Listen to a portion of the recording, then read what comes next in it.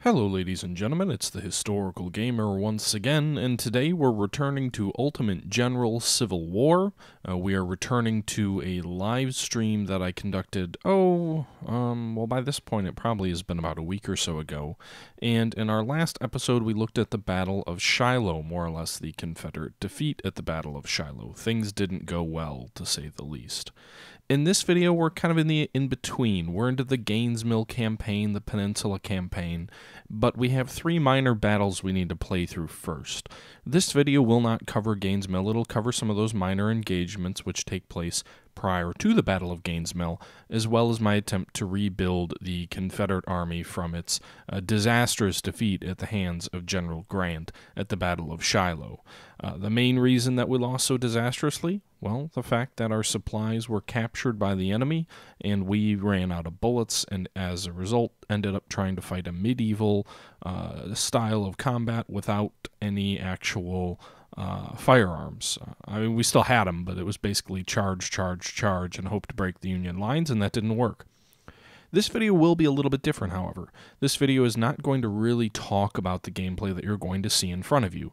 Instead, I'm going to be doing a book review. I've done a few of these, a few book reviews in the past, uh, but this one was particularly well suited to this kind of a video because it's actually about a book that talks about the American Civil War.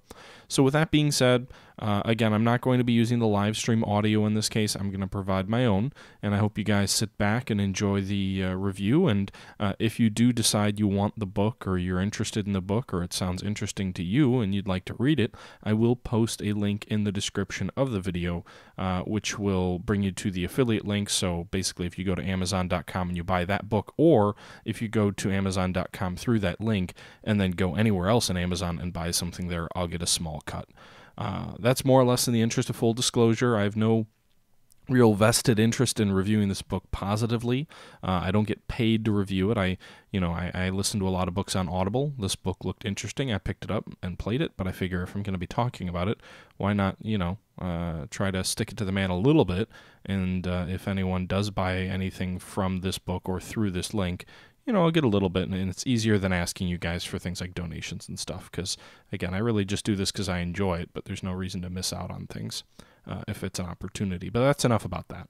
Uh, so, what's the book I'm talking about here today? So, the book that I'll actually be talking about in this video is called Defeating Lee A History of the Second Corps of the Army of the Potomac. It's written by Lawrence Kreiser Jr. I hope I'm pronouncing that right.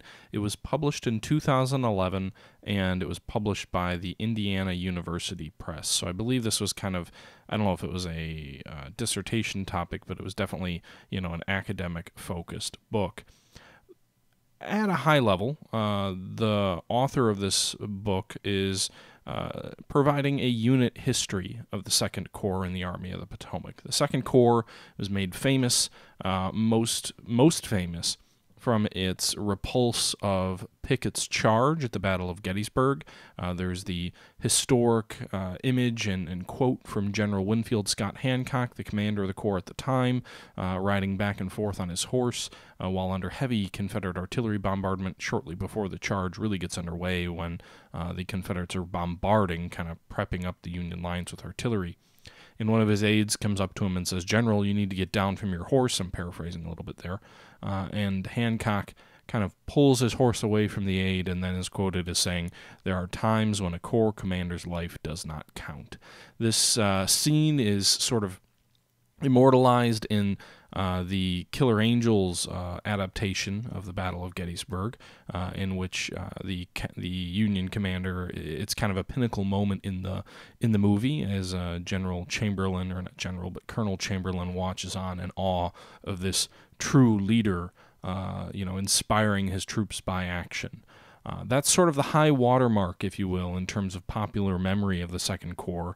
Uh, Hancock had also been credited with, you know, allowing the Union to reform on Cemetery Hill. He was given a lot of credit for the Battle of Gettysburg in general, where after General Reynolds is wounded, or actually, sorry, killed early on the first day of the battle, Meade sends Hancock as sort of his right, you know, his right arm, his lieutenant, to take charge of the field, uh, and he helps to rally the Union forces uh, that are routed earlier in the day uh, and ensure that the Union make a stand on Cemetery Hill. There's some there's some dispute over Hancock's role versus Howard's role, the uh, senior Union commander present. Uh, but uh, nonetheless, it was sort of the battle was Hancock was one of the heroes of Gettysburg, and the Second Corps was one of the heroic units of the Battle of Gettysburg. But the Second Corps is well regarded outside of the Battle of Gettysburg. It wasn't some one time moment uh, in in history where this corps perform, performed well. The Second Corps is one of the iconic units of the Union Army. It's one of the few corps that was founded at the beginning of the corps system and survived all the way through. There were originally four corps, and that's what this book touches on.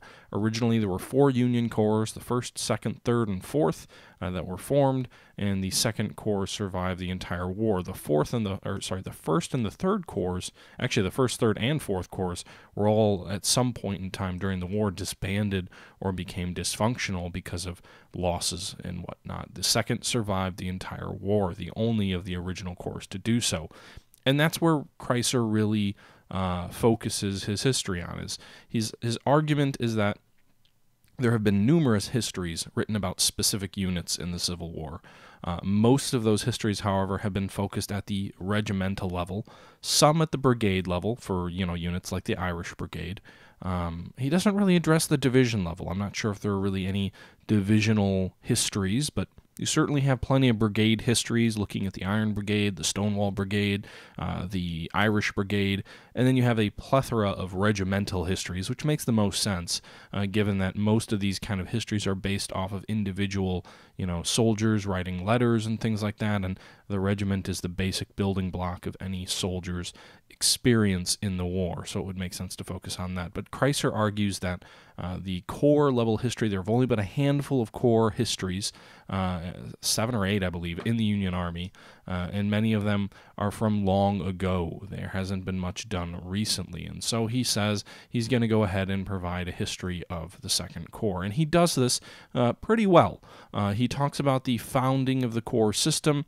Uh, there was actually some politics behind it, which I found fascinating.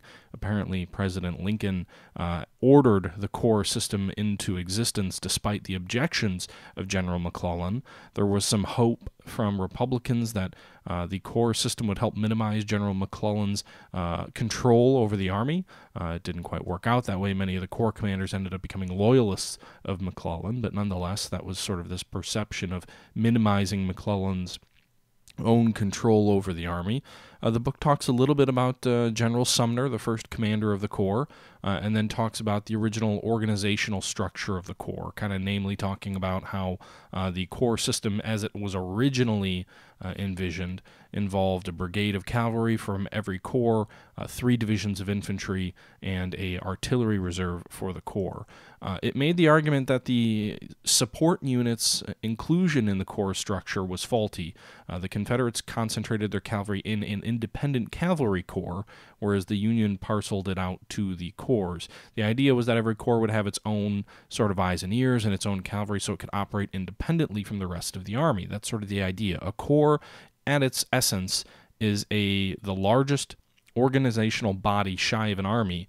And the idea is it's supposed to be a mini army. It's supposed to encapsulate everything that it would need to fight on its own. It would have its own artillery, its own cavalry, its own infantry. It could go off and be its own army on its own.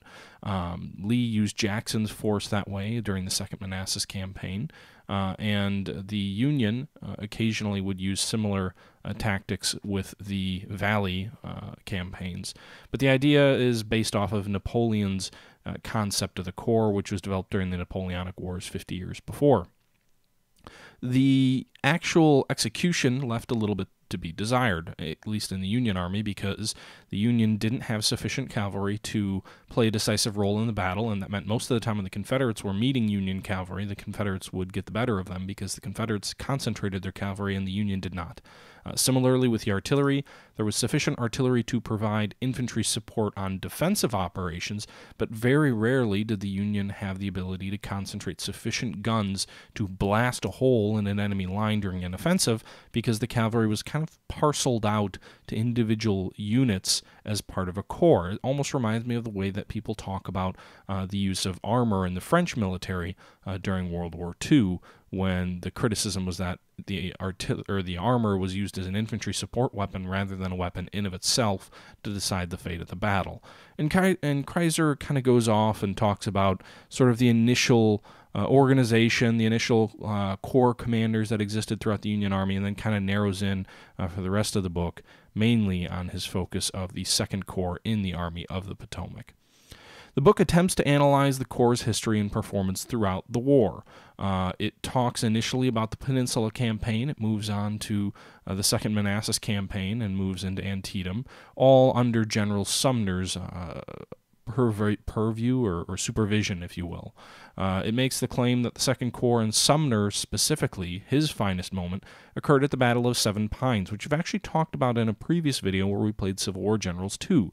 That being a Confederate attack by General Joseph E. Johnston against an isolated force of Union troops, some 30,000 Union troops cut off on the other side of a flooded river. The only Union Corps commander to exercise his initiative and judgment, General Sumner decided we're going to race across this bridge, across this river, and provide support to the Union troops that are under attack and are being driven back splendidly by the Confederacy. His engineers protested, said the bridges wouldn't hold, the river was too flooded, but at the end of the day it did hold, and the Second Corps ended up saving uh, the remnants. I think it was Heintzelman's Fourth Corps, but I could be wrong. At the Battle of Second or of Seven Pines, and then fought the Confederacy to a standstill. Uh, but the interesting thing about these early war engagements is it almost feels like Kreiser kind of talks about the initial organization of the Corps, talks about some of the politics between Lincoln and McClellan, but he really ignores the initial Peninsula campaign. Uh, Seven Pines is mentioned in passing, maybe the span of a page.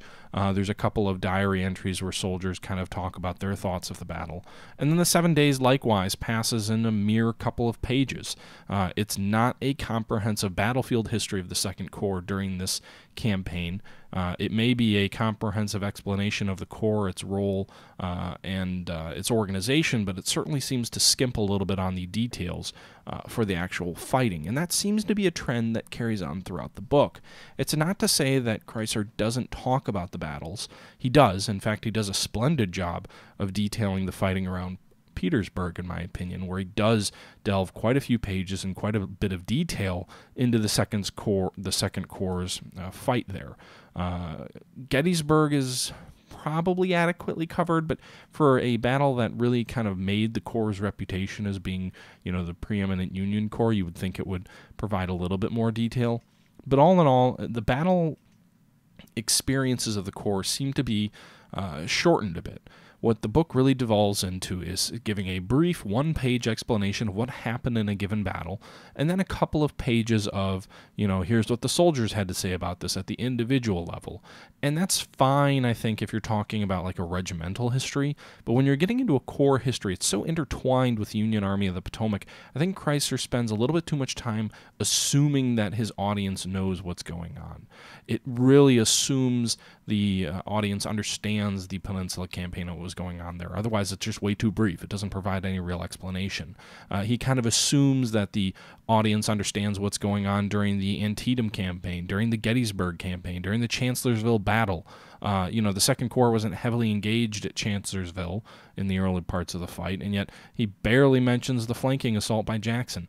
I think the book would have been better served if Kreiser was to give a little bit more background, uh, because while I know, you know, quite a bit about the war, and while this book certainly isn't, its audience is much more in tune with sort of the academic side of things, uh, I think it would have behooved him uh, to provide a little bit more detail and context to the uninitiated. Um, with that being said, the diary entries that he uses to talk about these conflicts uh, are very striking and very, uh, very useful. Uh, I think they're very interesting. Uh, the political background that he talks about, uh, where different commanders are arguing, especially during the initial forming of the of the Corps system. I had no idea it was some great big political game where you know Little Mac was making the argument that uh, he was opposed to the Corps system, at least initially, because uh, there was no way to know who was ready for Corps command and who wasn't. You needed more battlefield success or battlefield failure to really evaluate some of these generals, and he was worried by elevating people to Corps command, if they were to fail, there was one, there was nowhere to hide them in the army because they'd be superior in rank to most of their uh, otherwise, you know, equal ranked division commanders. You couldn't exactly demote them back down to division command. You couldn't hide them in an unimportant position. You couldn't shuffle them off to Washington. They were too highly ranked at that point. Uh, so he was he, he thought it was precipitous. While Irvin McDowell disagreed and said the Union Army at uh, Bull Run. Uh, the, the, Union commander of the Army of Bull Run uh, said that a corps system was vital and that you know you could operate where you'd have a wide advance with multiple corps advancing, and each one just barely in range of the other to provide support to the other uh, in in a time of need. So I had no idea there was this whole political dialogue in the background where you know Lincoln ends up coming in and just writing basically an executive order to saying you will adopt a corps command. I, I that was interesting. Um, but the book doesn't go into enough detail about the fighting, uh, in my opinion. I think it also could have used a little bit more background on some of the commanders involved. It provided a little bit of a background on Sumner, but it kind of seemed rushed. Uh, it provided pretty minimal background on Hancock, although it certainly talked about him a lot because he was in command of the Second Corps for so long. That's Winfield Scott Hancock, who ended up taking command of the Second Corps shortly before uh, the Battle of Gettysburg. Um, it doesn't really delve much into the later war commanders who take over from Hancock, so as the war goes on, uh, the book details sort of the declining fighting power of the Second Corps. I'd be remiss if I didn't say this, but I didn't even know kind of what the Corps went through, how it had suffered a disproportionate heavy amount of casualties, Grant really relied strongly on the Second Corps. He consolidated after Gettysburg when Grant came east. Grant and Meade consolidated the number of corps, and there's a lot of political infighting. I thought it was interesting how the book talks about, you know, some of the uh, up, the frustrations with some of the everyday soldiers when certain brigades or regiments were consolidated, and, and that kind of hurt unit cohesion. Uh, the Overland campaign, the book does a very good job. Not so much of the fighting. Again, it kind of skimps out on the fighting, but what it does a good job of is it really communicates the identity of the soldiers to the Second Corps, which initially the book kind of says, hey, people didn't really think in terms of corps, but by the time the war got further along, you know, the Second Corps had had such a positive reputation that soldiers really started identifying with it uh, and uh, thinking of themselves as soldiers of the Second Corps. Uh, but what, what's interesting about that is that as the war goes on, it kind of describes the Corps' disintegration. So, you know, the Corps built up an early history and early legacy uh, in the early Peninsula campaign. It kind of was left out of Second Manassas on somewhat controversial grounds, where Sumner kind of stayed back and didn't advance to support the Army, uh, claiming he didn't receive orders to do so.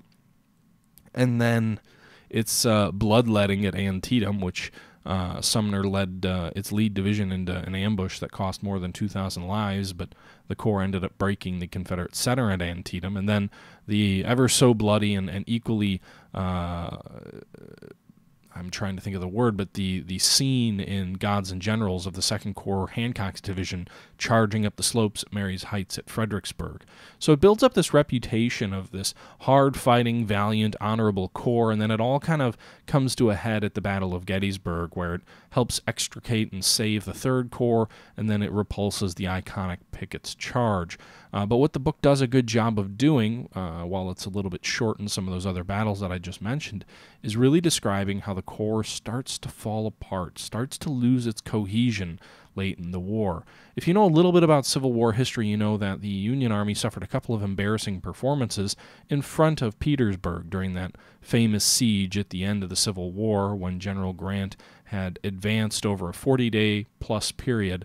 He had fought the Battle of the Wilderness, swung around Lee's flank, fought the Battle of Spotsylvania, swung around Lee's flank again, fought the Battle of North Anna, uh, then on to Cold Harbor, and eventually outflanked Lee to the point where he was attacking Petersburg, which was a critical rail junction to the south of Richmond.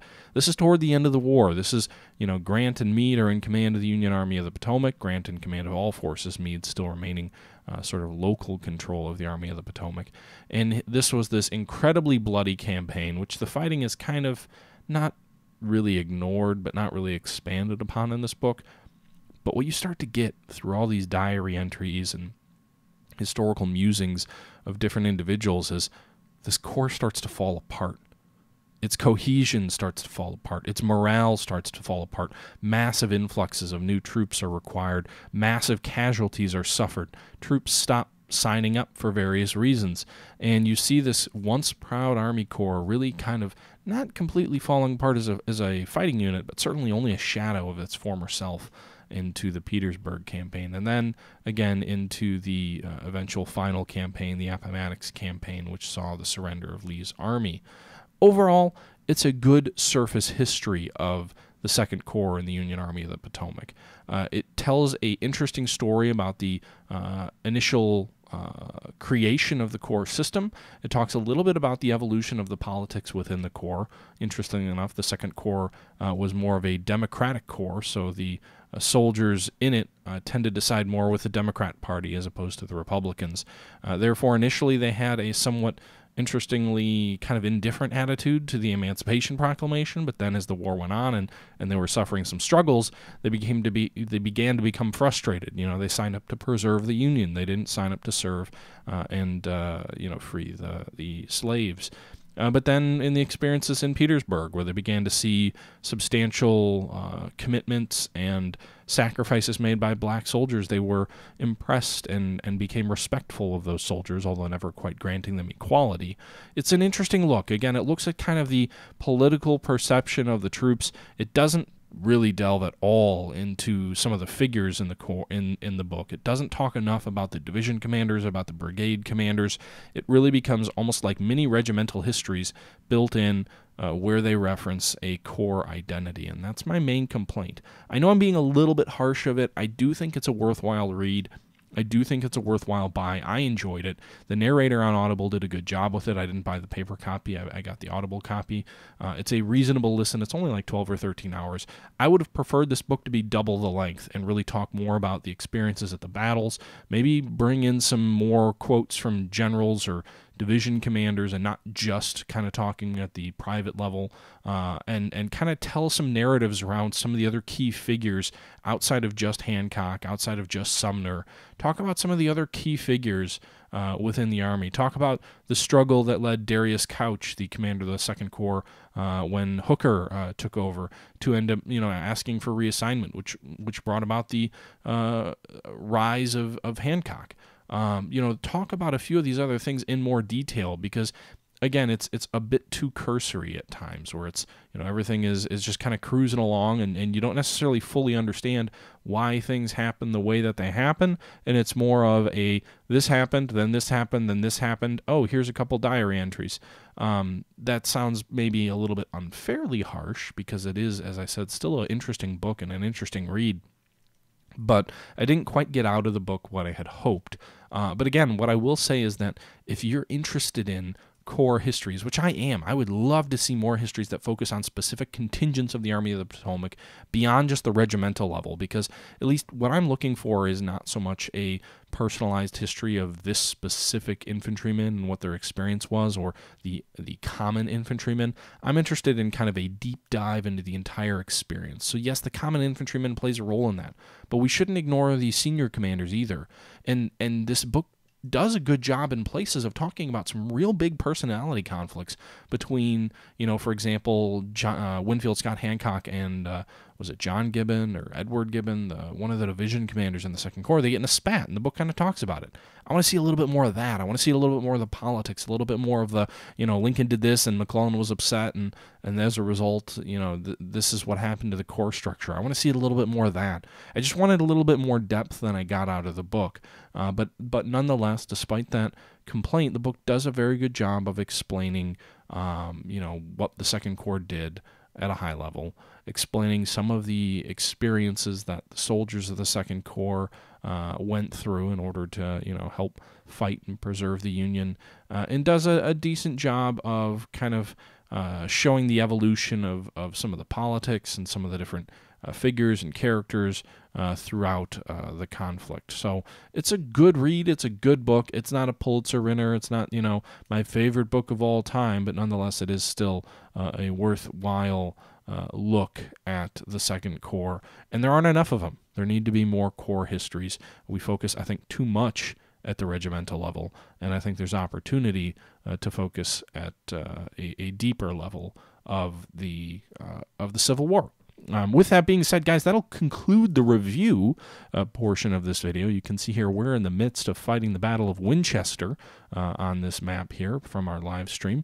Uh, things aren't going great. Uh, we're trying to push the enemy back, but they're staunchly located in some woods around here as we uh, attempt to outflank them. We're doing well in the south, but in the north, things do not look like they're going well. But here's a secret, folks this is not the only Battle of Winchester that I'm going to fight.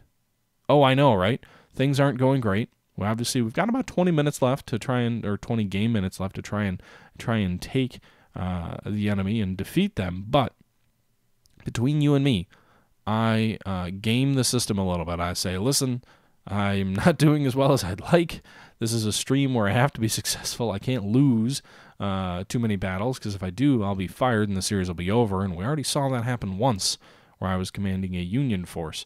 And so I make the decision not to fight to win every single battle, but I do make the kind of game decision here in this one specific battle. I'm going to refight this. Uh, because again, I'm giving a little bit of way in the way of spoilers, but you can see up north that things, as as you can see, my cavalry charging down some skirmishers. Uh, but in general, things aren't going well in the north. In the south, uh, we're doing okay, tolerably, but you know certainly room for improvement. And more importantly, our corps is being shredded to pieces. We are losing a lot of casualties uh, and not really gaining much in this fight. So this is actually going to be the first of two battles of Winchester which you witness. Basically, what'll happen is after this one, I'll reload a save, and then you can see me fight again. Or at least that's what my memory says I did. Um, maybe I didn't, uh, but that's I'm pretty sure that's what I end up doing. Um, I guess we'll find out in a couple of minutes. Anyway, guys, uh, that's going to do it for this video uh, book review. As I said, the link to the book that I just talked about, uh, The History of the Second Corps, uh, will be in the description. Uh, that's just above the comment section, just below the video. And if you're interested, just go ahead, click on that link, uh, and I'll get a little bit of money if you buy it. If you buy anything else on Amazon in that same session, by the way, I'll get a little bit as well. Again, more so in the interest of full disclosure. This isn't a job, this isn't a living. It's just nice to be. Uh, to get a little bit extra, given the fact that you know there's certainly a lot of time and, and uh, effort goes into uh, some of the topics I talk about on this channel. So um, I hope you guys enjoyed the video. I hope you enjoyed the the book review. Let me know if you want to hear more of these. I've done quite a few book reviews in the past, not a lot recently. Um, but again, I I didn't want to make it too stale because I've got this this live stream series is going to end up being about 20 parts long, and I didn't want to just make it 20 straight parts and there you, there you see the defeat. I didn't want to just make it 20 parts of me uh, kind of just cutting up a live stream that occurred. I wanted to try and mix things up a little bit as we get further into the series and as the game has been out longer and people are going to be browsing these videos, maybe trying to get a little bit more than just uh, what happens in the battles. Uh, that's why I'm looking at, at fighting it this way. Anyway, guys, I hope you enjoyed the video. I'm going to go ahead and jump off now. So, again, you'll see the Battle of Winchester again. Sorry. Uh, but uh, I'm going to go ahead and jump off now. And I hope you guys all enjoyed the video, the stream. Let me know your thoughts. Please don't hesitate to leave uh, some comments in the description below. And uh, thanks again for tuning in. Okay, guys, uh, so I will leave with my customary uh, salutation, and I, this is just uh, me rambling. Wow, I'm really rambling here. Uh, so, with that being said, uh, I hope everybody has a wonderful night, wonderful day, and this is the Historical Gamer saying thank you for watching, and I'm out.